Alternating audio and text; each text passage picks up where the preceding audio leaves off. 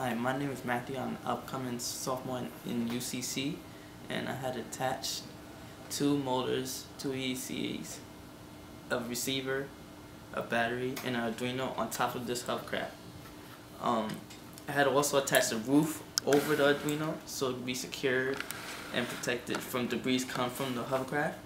And I also attached a hatch on the back of the hovercraft so the wires from the ESCs would fit in and not fall off from the hovercraft when it starts to move.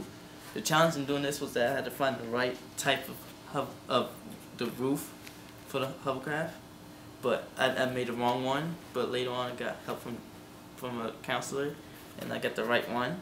And what I liked about this is that I got I had attached a second motor right here with the screw and the washer underneath it so it could be tightened and I did not favor that I had to calibrate the second ESC that I had to put on for the hovercraft to work and I did not also like that I had to solder two ESCs together so they both could be controlled by one battery.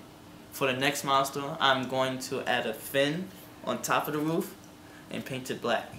Thank you.